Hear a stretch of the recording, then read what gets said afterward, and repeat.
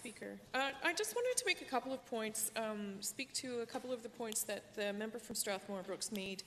Uh, one of the things that he was concerned about was emboldening protesters by passing the legislation, and I believe that the only circumstances that would actually happen is if the protesters suffer from oppositional defiant disorder.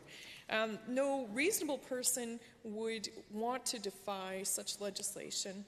Another comment that was made essentially equated morality to Christianity, and I just want to assert that no belief system can claim authority over morality.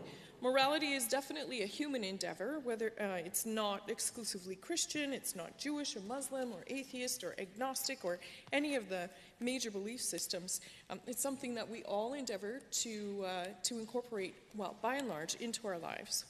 And I also want to disavow the member from Strathmore Brooks of the delusion of being the unofficial leader of the opposition. I, for one, am not inclined to follow him anywhere.